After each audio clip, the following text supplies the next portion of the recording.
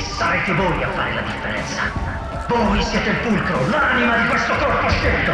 Spetta soltanto a voi decidere se vincere o se perdere. Siete pronti per la battaglia?